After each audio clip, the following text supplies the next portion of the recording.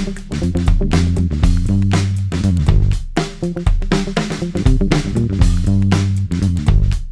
you.